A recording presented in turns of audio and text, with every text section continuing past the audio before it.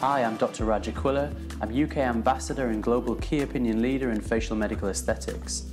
Welcome to my series of online training webinars. So when I palpate the SOOF here, there, now, you can see it bulging up in the tear trough. This is the point at which I know there's a reciprocal elevation within the base of his tear trough. So it's corresponding to, I'm not going to inject you, corresponding to about here. And uh, what that means is that we need to go through the, uh, the skin, the superficial fat, and then into the suborbicularis uh, level whilst not trying to touch the bone because he has a foramen there, right? So we turn slightly this way. So we have to go nice and keep your eyes open, keep looking up. So we go nice and steadily down through the muscle. I pop through, I feel a slight resistance here. Then I go down, don't touch the bone. Make a tiny, tiny injection, 0.05 to 0.1 because we don't want fullness here. And then it's done. So I take that product now and mold upwards towards the trough. And that, for me, in most patients, fixes the tear trough as well. Thank you. So if you get your head straight, look in the camera. You see, I think it kind of fixed his trough. On this side, look, he has deep. You know what I find interesting? This skin looks here old, number one. He looks tired. Look here, he looks like he had resurfacing done. And this will continue to get better. Now, what I've done there is, again, I did this, it's fine. It highlights deficiency here. I did this, it's fine. It highlights deficiency here. Yeah. Okay? So now we go with lateral lid junction. Come back. Now, actually, let's feel. This is a good point. When I feel this tissue, and you can feel all of your own, is it skinny or is it fleshy? The skinny one's is Volbella, and the fleshy one is a Volift. He's bony, so he needs, he needs Volbella there. Uh, the most important aspect here is the orientation, or if you like, the traje trajectory of your injection.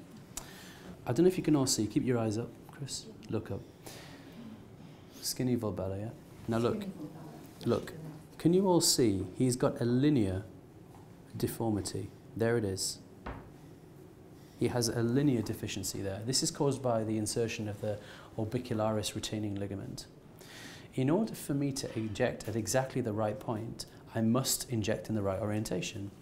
So if I inject from lateral to medial, but I miss him and some goes there, what happens? His eye bag gets bigger. Mm. What if I'm so stupid I inject too short of it and I inject here? His malar mound gets bigger. So this is incredibly important regarding accuracy. So this is an aeroplane, right? And this is the runway. So the aeroplane has to line up on the runway to land properly, otherwise it misses the runway. So I line up the aeroplane to the runway and then pull the skin back so I retract the lateral canthal ligament, go down to the bone. There, see how skinny he is? Mm. Okay, to the bone, make the injection. Okay, come out. Make an upward molding. So I take the product and mold upwards towards the lateral canthus. Look to the ceiling, Chris. Thank you. Always keep this patient in a vertical gaze when you're doing infraorbital work because it delineates the orbicularis ligament properly. So we met, that's the lateral part of his, uh, of his junction. And what you'll probably see is that the, the eye becomes less sad. Let's evaluate. Come forward, turn this way. Look at the hanging skin with the sad eye. Turn to me, that's it. Look at the hanging skin with the sad eye.